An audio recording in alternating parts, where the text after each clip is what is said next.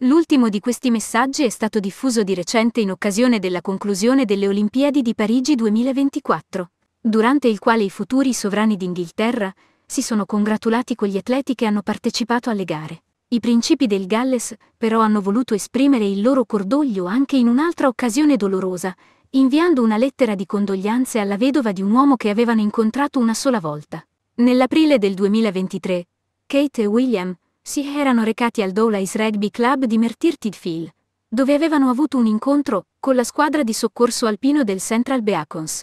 Durante quell'occasione i principi del Galles avevano distribuito pizze di vario tipo, acquistate da un furgone di cibo da asporto, il Little Dragon Pizza Van, gestito dall'imprenditore Peter Morris quattro mesi dopo quell'incontro. Peter Morris ha ricevuto una diagnosi di cancro, che lo ha portato alla morte nel maggio seguente. In occasione del suo funerale, William e Kate hanno voluto inviare un messaggio di condoglianze alla moglie di Morris, Tracy.